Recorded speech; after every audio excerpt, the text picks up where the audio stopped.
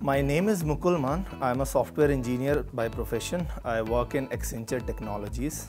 I am giving IDP IELTS for the immigration purpose to Australia.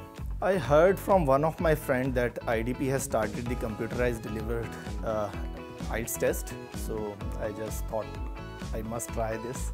Uh, booking on the website was pretty easy. Uh, it's just two, three clicks away. You, just need to fill the information in that and just make the payment, online payment. So it's pretty easy. The infrastructure is very good and uh, the staff is too supportive and we, we don't have much noise in here while giving the exam so we, we can definitely focus on our exam rather than hearing little bit noise from other people so it is better than other exam I can say.